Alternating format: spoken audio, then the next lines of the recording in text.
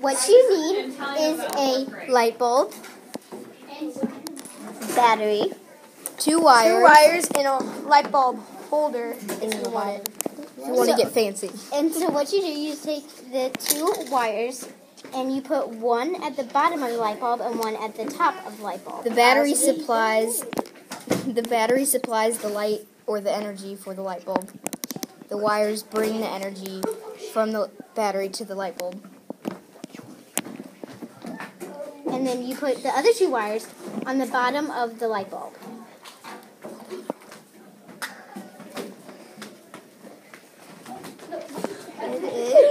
And it should light up. There we go. Go. We will be learning about force and First, you need a couple books and a car of any type.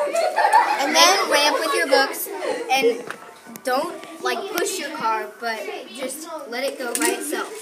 And that's the example force. You can put different materials in one way and see which goes farther.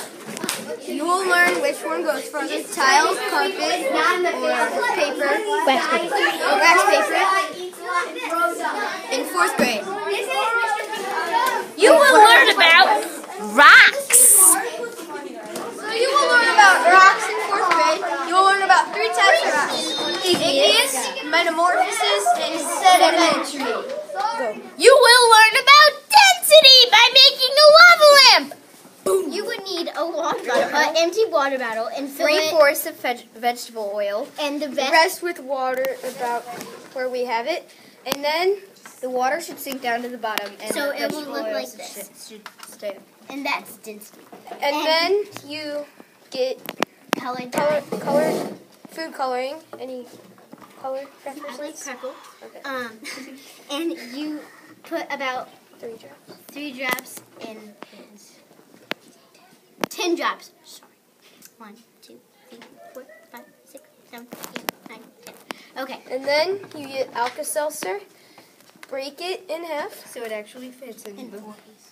in four pieces, and then break it into fours. And then you You drop it. drop it in. One, and two, watch how it three, four. And then close the cap, fast. because it might start. and then it will start Start bubbling bubbling. up. And then you turn off the lights.